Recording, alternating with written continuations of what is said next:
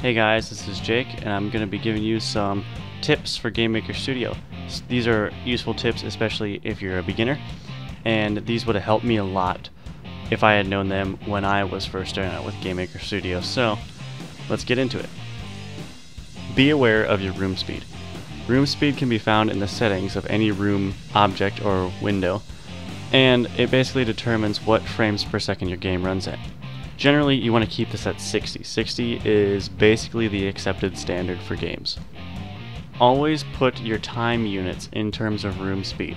So basically, if you're going to set an alarm or something and you want it to be, you know, a second, if your room speed is 60, it's going to have to be, uh, the alarm's going to have to be set to 60. But instead of hard coding that, you always want to do it in terms of room speed. So here I have uh, integer values for the number of seconds that I want the alarm to run, and then I multiply those by the room speed to get the actual amount of time in game. Always name your resources with the type of resource that it is. Every sprite that I have is uh, started with SPR underscore. Every object that I have is OBJ underscore. If I had backgrounds, I would put it as BG underscore. If I had fonts, I generally do font underscore or FT underscore, something like that. This really helps prevent confusion in your resources so that when you have, for example, a player object and a player sprite, you can easily differentiate between the two and you don't run into errors with, your code. Use groups to keep your resources organized.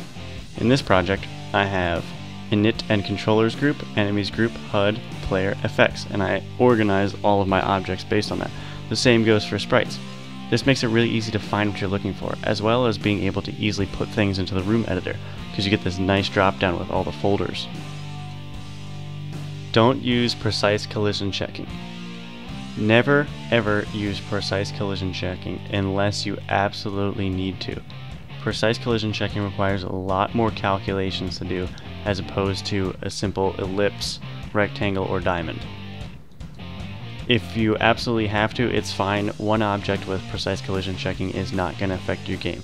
But if you have a lot of objects being created and they all have precise collision checking and they're all doing collision checks with each other, that's going to cause a massive slowdown.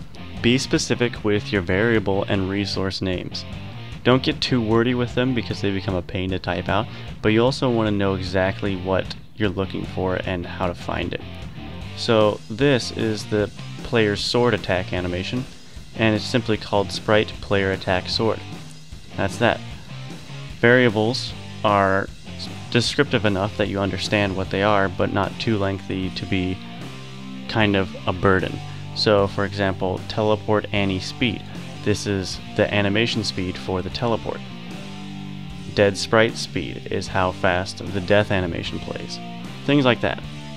When creating objects, assign every numerical value that you plan to reuse in the code to a variable. This prevents you from having to go in to each event separately and change every instance of that number. If you're using a specific number for a certain purpose more than once in your code, just go ahead and create event or wherever you need it to be and assign it to a variable. These are all of the variables that I have on this creation of the object skeleton. And then I have more variables for its parent, which is the object enemy. So these are all the variables that I'm creating that I don't have, if I need to change them, I can just go in and change one number and it works for the rest of the code.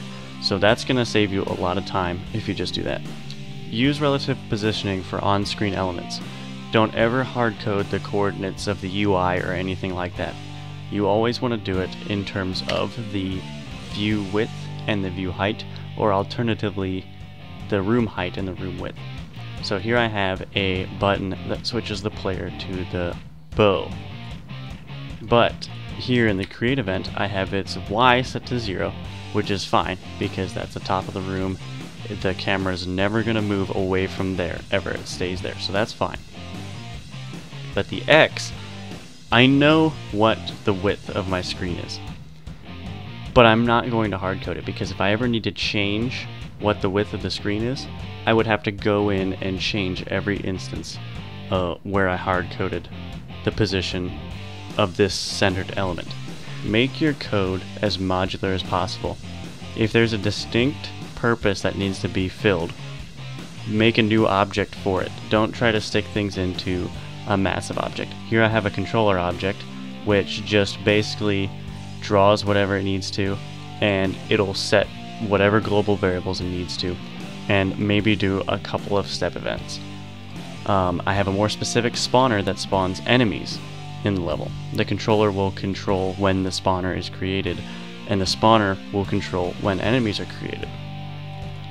If you you don't want to have to stick a bunch of stuff into one object because it gets very bloated very fast and it can be really hard to work with. If you're a little bit more specific in the different roles that your objects have to fill, then it's going to be easier for you as a developer to go in and change things or know exactly where a problem is occurring. If you're making a game that has a lot of similar objects, you're going to want to use parents. Parents are basically, I would describe them as helper objects that can describe more specific objects. I'll explain a little bit better right now. So here I have a skeletal swordsman who has the parent of object enemy. An object enemy is just a general object that's never specifically created in the room, but it does it does uh, contain events that apply to every type of enemy. So I have two types of enemies currently in the game right now. We have the the Lich and the Skeletal Swordsman. But both objects adhere to the rules defined into this object enemy. So they are all created with these variables in the create event. They all have a countdown timer. They all have a series of step uh, functions that they perform. They also have end step and begin step and draw. Don't be afraid to start over. Sometimes code gets so complicated and just convoluted that you might have to take a step back and just say, you know, this is too hard to understand. Scrap it. You know, just because you've invested X amount of hours into it does not mean that you have to keep going on that path if it's not working. If it's proving to be more of a hassle than anything, then just don't be afraid to scrap it and restart. Oftentimes, doing that will allow you to create a cleaner, more efficient piece of code that's easier to understand and also easier to work with. Use a different color scheme than the default GameMaker color scheme. Look, the default GameMaker syntax highlighting and things like that is okay. But after working in Sublime Text with Python a lot, I really liked the variety of colors that were there.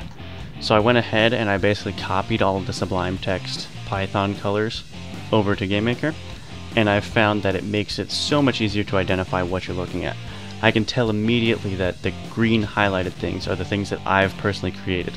All of the blue highlighted things are built-in GameMaker functions, and all of the red, or like magenta, whatever you want to call that color, all those highlighted things are constants. Anything else is either a variable name or an operator or something like that.